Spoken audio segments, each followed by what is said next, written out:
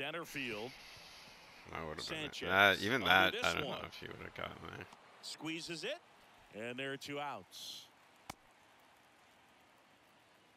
Two outs, bases empty. for the Blue Here's Teoscar Hernandez. The right fielder, Teoscar Hernandez. That's hard the line. Oh my god. No way. He, Oh, he dropped it. And he'll make it to second base with two gone. There's- All